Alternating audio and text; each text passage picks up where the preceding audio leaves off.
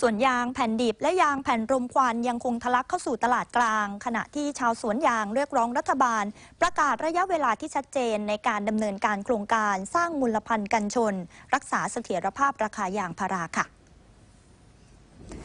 สมาชิกสากลกองทุนสงเคราะห์การทำสวนยาง รวมถึงบริษัทแปรรูปยางพารา ยังคงนำรถบรรทุกยางแผ่นดิบ และยางแผ่นรมควัน เข้ามาจำหน่ายในโครงการสร้างมูลพันธ์กันชน รักษาเสถียรภาพราคายางพารา ซึ่งองค์การสวนยางหรืออสย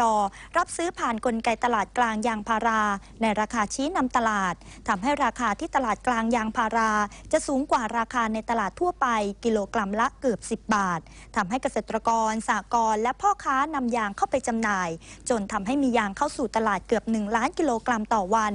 ขณะที่การส่งมอบยางทำได้ล่าช้า จากปัญหาการบริหารจัดการ ผู้ที่นำยางเข้าจำหน่าย จึงต้องเข้าคิวรอ 2-3 วัน